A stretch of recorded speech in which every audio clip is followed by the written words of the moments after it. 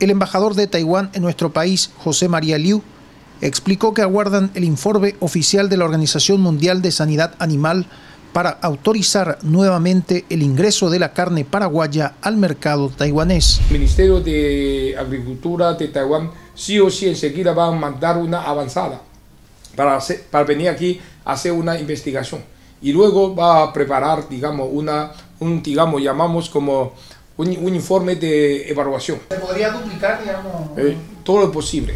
Taiwán actualmente importa de nuestro país cerca de 2.000 toneladas de carne al año.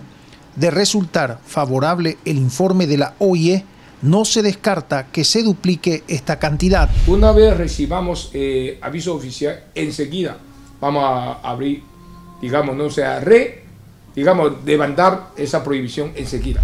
Con imágenes de Carlos Jiménez informó Claudio Genes para ABC Color.